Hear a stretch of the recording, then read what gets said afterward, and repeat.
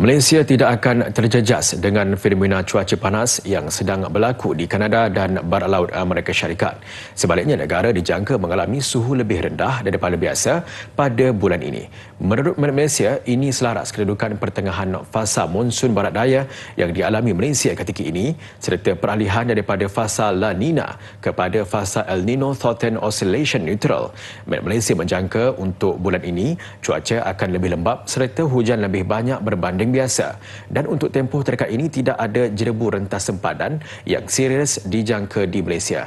Menurut Malaysia lagi, mulai bulan Ogos baru negara dijangka mengalami taburan hujan normal. Laporan terbaru menyebut Kanada dan Barat Laut Amerika Syarikat merekodkan suhu sehingga 47.9 dan 56.6 darjah Celsius akibat cuaca panas dan gelombang haba.